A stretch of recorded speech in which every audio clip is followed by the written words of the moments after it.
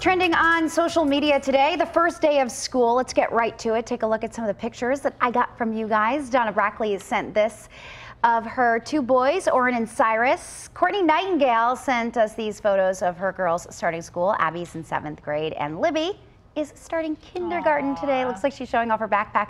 Luke started pre-K today. How cute. And Maria, take a look, sent us this photo of her daughter Isabella starting first grade. We had so many pictures. I'm sorry I couldn't share them all. I really, really tried. I really wanted to, but we still want to see them. Just go to WMTW.com. You can click on the U Local section to share.